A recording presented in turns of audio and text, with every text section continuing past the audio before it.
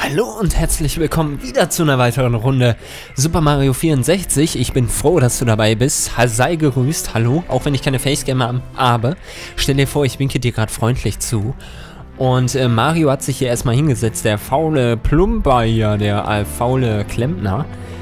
Also faul ist er ja nicht. Wobei, wir steuern ihn. Und heute machen wir weiter mit der umwerfenden Wasserwerft hier. Da sind wir nämlich noch nicht komplett fertig.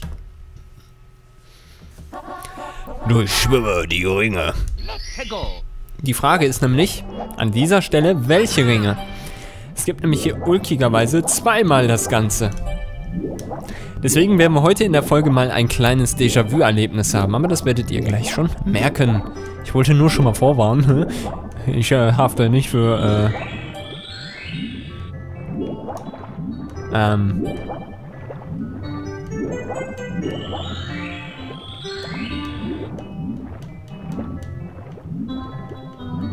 Ähm, ja.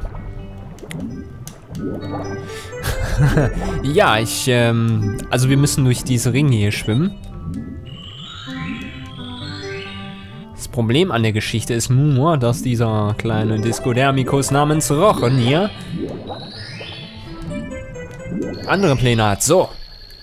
Das ist eine richtig miese Kacke, muss ich sagen. Da müssen wir jetzt mit Geschick rein und uns nicht ins Wasserstrüdelchen ziehen lassen. Wow. Oh, da hau ich wieder gegen meinen Schal. Mein Schal, mein Schal. Mein Schälchen meine ich natürlich. Folge dem Fisch. Ja gut, das war dann das andere. Allerdings fällt mir jetzt ganz ehrlich mal zum ersten Mal auf, dass man dieselbe Mission zweimal in einem Level hat, nur an einer, einer anderen Stelle. Schwimme durch die Ränge, ja, Ränge, Ringe. So, das haben wir nämlich nicht nur einmal, sondern zweimal. Naja, gut.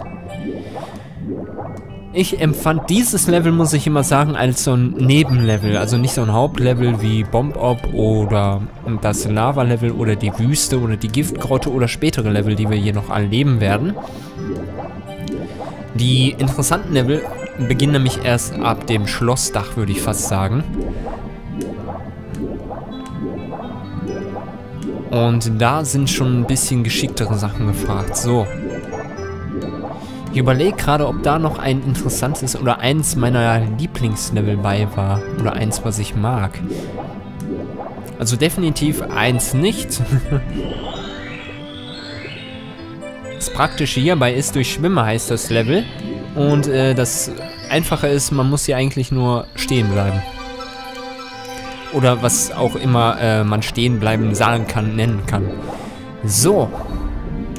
Ich meinte natürlich, man muss nur auf der Stelle bleiben. Schon ist die ganze Sache gegessen und das Süppchen ist ausgelöffelt. So, damit kriegen wir unseren 62, 72. Äh, Stern. Meine Güte. Ich will schon viel weniger. Wir sind ja schon viel weiter jetzt. Aber ich muss sagen, ich weiß nicht, wie viel die Folge das jetzt ist. Aber ich muss sagen, wir sind sehr erfolgreich. Wir haben bereits 16 Sterne. Beziehungsweise jetzt 17. Und sind gerade auf dem Weg zum 18. Bumbedambedim. Bumbedambebim. Dumbebambedim.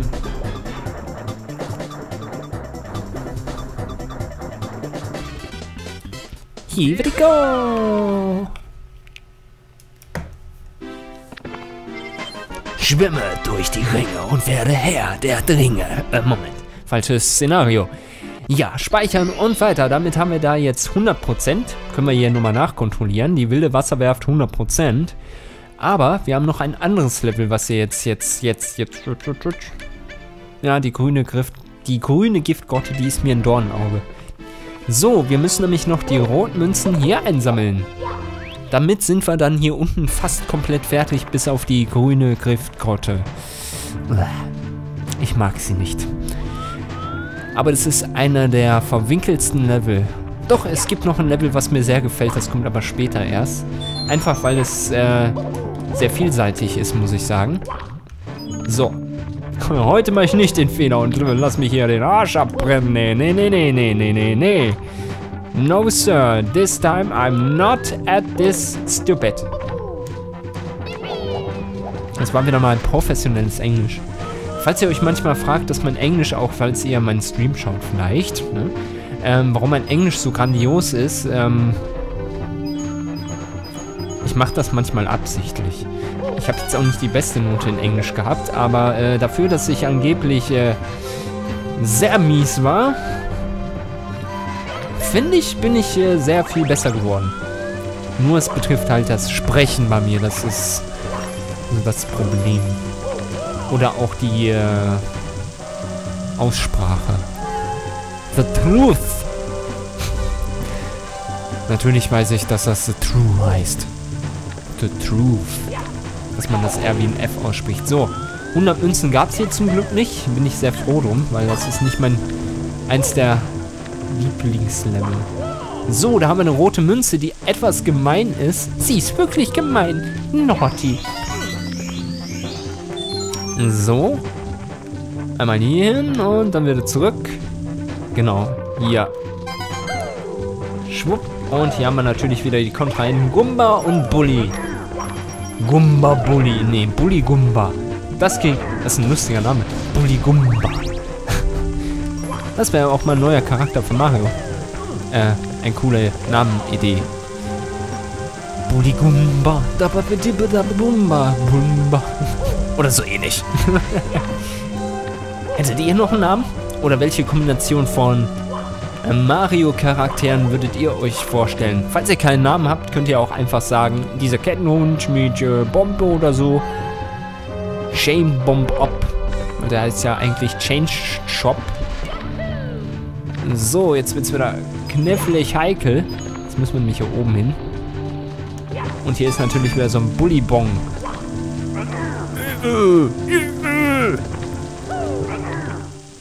Boah, das wäre auch ein cooler Sound für Minecraft, wenn man sich irgendwie verletzt. wenn man das nicht mitkriegt, was ich hier mache, muss ich unglaublich ganz debil wirken. Aber ist egal. Kann ich mit leben. Noch. Aber bald tue ich das nicht mehr. War nur ein Witz. Ähm, so. Ja, haben wir dir auch sofort nicht abgekauft, dass das nur ein Witz war. Natürlich. Ich kenne euch doch. So, jetzt müssen wir wieder warten.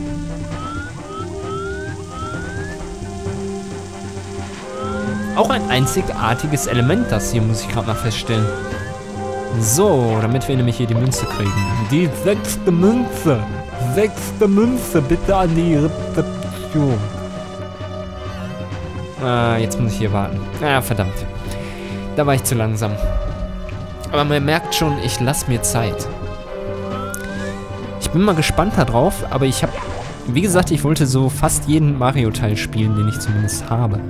Ich war am überlegen jetzt vor kurzem, ob ich mir noch 3D Super Mario World holen soll. Also nicht das für den DS, also die Gameboy-Spiele fallen generell raus, sondern nur die Konsolen-Marios. Konsolen-Mario. Ähm... Na, ihr mal anhalten.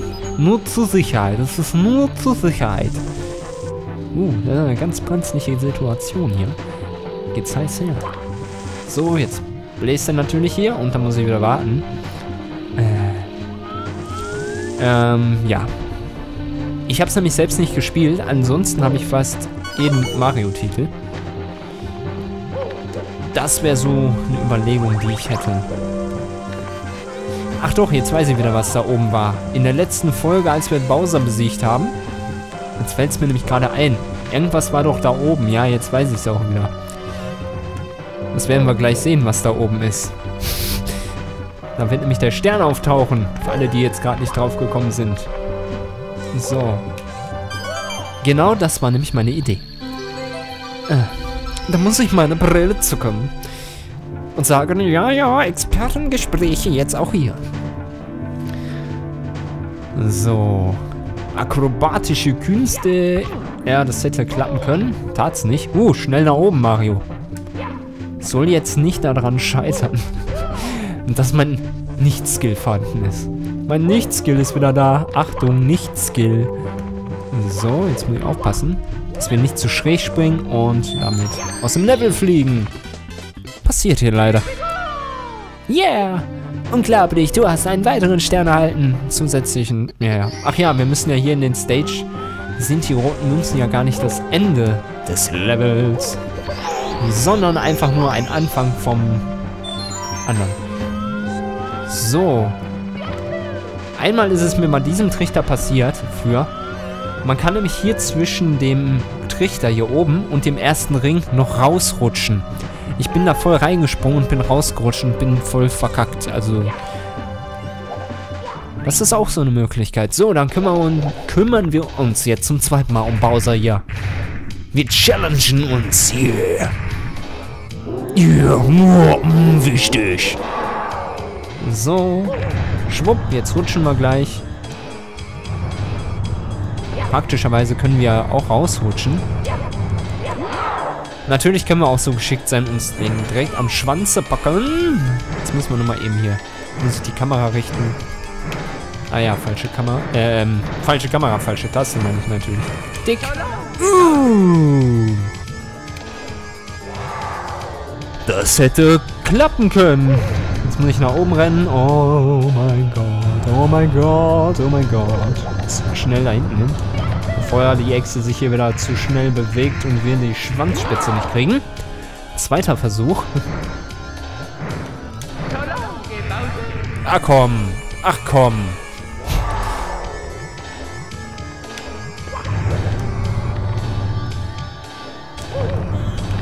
So. Natürlich, wir hatten ihn eigentlich schon ziemlich am Stissel, aber er sagte so, nee, nee, noch nicht, warte Mario, Absprache. Meine Güte. Ich mache es natürlich gerade ein bisschen absichtlich spannend. Ist das eine Ausrede? Natürlich. Was glaubt ihr denn? Aber trotzdem, dieses Rumgewaber ist echt ein cooler ah, Effekt. Ah, jetzt muss ich mich wieder um ihn drehen. Ja, Bowser, du bist ein toller Echsenkönig. Du bist der König der Welt. Uh. Ting, ting, ting, ting, ting. So, bisschen mit Timing. Bowser, ich hab dich nochmal besiegt. Weißt du, was ich jetzt mache? Ich mach's das hier. It's time to move. It's time to move. Time to move. Time to move. Time to move. Time to move. So, genug. Oh, besiegt, du Stern, unentschieden, ähm, unentschlossen. Ich dort, stärker ist. Ausrufezeichen. Tja, ja. Bowser hat schon sehr viele Geschichten zu erzählen. Here we go! Im Ursprung waren die Schlüssel nämlich auch große Powersterne. Wurde aber im Endeffekt geändert. Speichern und weg. So. Und damit haben wir jetzt 100%. Really? Yes. Und weil wir unten überall fertig sind, bis auf die giftgrüne Grotte, die mache ich äh, in einer der nächsten Aufnahmesitzungen, muss ich ehrlich sein, weil da brauche ich ein bisschen mentale Stärke. Weil ich mag diese giftgrüne Grotte einfach nicht. Sie ist so verwirrend. Und da 100 Münzen einzusammeln war, glaube ich, auch nicht so das Problem, aber... Zumindest ich mag sie nicht. Punkt. Punkt. Punkt. Da gibt es keine Philosophie. Ja, aber du könntest, aber nein, aber ja, aber nein, aber nein, aber ja. Na, nee. meine Entscheidung. Männliche Entscheidungen sind immer meine Entscheidungen. So. Ja, da war übrigens auch eine unsichtbare Wand, wie man gemerkt hat. Keine Ahnung, warum wir jetzt zurückgeflogen sind. Aber dem sei so. Und jetzt geht's auf nach oben. Den Schlüssel gepackt, ins Schloss gedreht und... Nächste Etage. Etage Rajomé. Jetzt müssen wir erstmal das Treppenhaus hier komplett mit Teppich ausgelegt nach oben wandern. Und hier haben wir unzählige neue Wandgemälde, neue Herausforderungen, neue Level, neue Bumm. Aber hier gibt es auch viele Level, in die wir nicht können. Hier gibt es neue Schilder, die wir vorlesen können. Es gibt neue Level, die wir spielen können. Es gibt neue Bilder, die wir nicht benutzen können. Oder äh, was dann weniger neu ist. Ähm, ja. Ich würde sagen, wir reden erstmal hier noch mit den Toads. Toads. Aber vielen Dank. Du hast schon sehr viele Sterne gesammelt und Bowser in ein höheres Stockwerk verbannt. Nein, er hat sich da selbst in Verband eigentlich. Aber gut, glaub mir das. Wusstest du das eigentlich, dass du in jeder Welt einen geheimen Stern erhalten kannst, wenn du 100 Münzen sammelst? Ja. Aber danke trotzdem, kleiner Pilzkopf. Übrigens habe ich immer das Gefühl, Jetzt kann ich mir das nochmal nach all den Jahren genauer angucken. Als hätten die zwischen den Augen so einen roten Fleck. Ich weiß nicht warum. Ob das Sommersprossen darstellen sollen, ich... Rötung vor Schamesfreude oder so, keine Ahnung. So. Hallo Mario. Du hast bereits einiges zur Rettung des Schlosses getan, aber du musst noch viele Geheimnisse in der Wand in Wandgemälde lüften. Manchmal spielen dir deine Augen einen Streich, die Realität verschwindet hinter Fassaden, aber du kannst das Trugbild durchdringen, wenn du in den Spiegel schaust. Wasser ist ein flüssiges Element, die Magie des Wandgemäldes beeinflusst dein Verhalten. Wasser ist ein flüssiges Element. Die Magie des... Keine Ahnung, was er mir damit sagen will. Das lese ich gerade zum ersten Mal. Wähle verschiedene Wege, um dir die versunkene Stadt durch das Gemälde zu betrachten. Versunkene Stadt. Gemälde.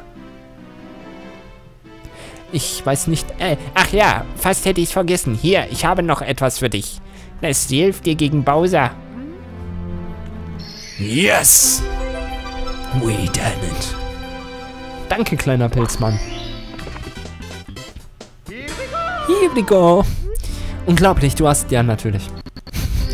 Den Text lese ich natürlich nicht vor. Dieser Text von dem Kleinen soll eigentlich ein Hinweis sein. Der mit dem Spiegel ist richtig und das mit dem Wasser ist tierisch verwirrend.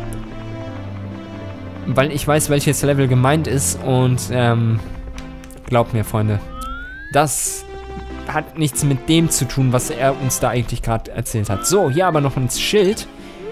Vorsicht, die Fliesen sind frisch gebonert. Danke. Extra für Bowser? Das Schild. Hm.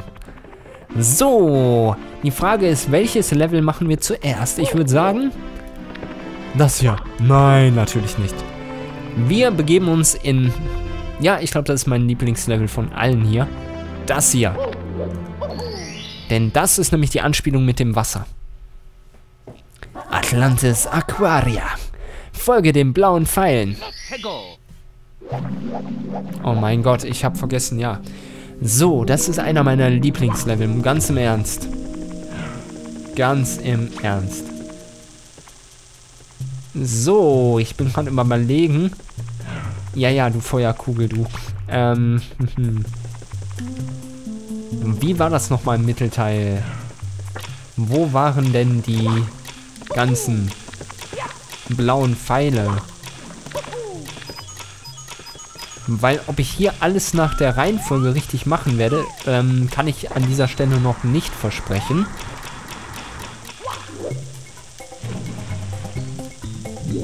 Weil hier kam nämlich eine Sache vor, die kann ich auch später, werde ich die noch zeigen. Vielleicht heute nur in der Folge. Oder vielleicht auch nicht. Ich stelle nämlich gerade fest, wir haben ja schon 20 Minuten. Na gut, machen wir noch den Stern hier. So, theoretisch müssen wir nämlich hier uns draufstellen und die bewegen sich dann so ein bisschen in die jeweilige Richtung. Oh, voll ins Gemüse. So, aber in der Regel kommt man ja auch anders hin, was viel, viel kürzer ist. So, sammeln wir noch den Stern ein und in der nächsten Folge erzähle ich euch dann dieses Geheimnis von diesem Level. Yeah! Folge den blauen Pfeilen. Voll easy, voll easy, voll easy.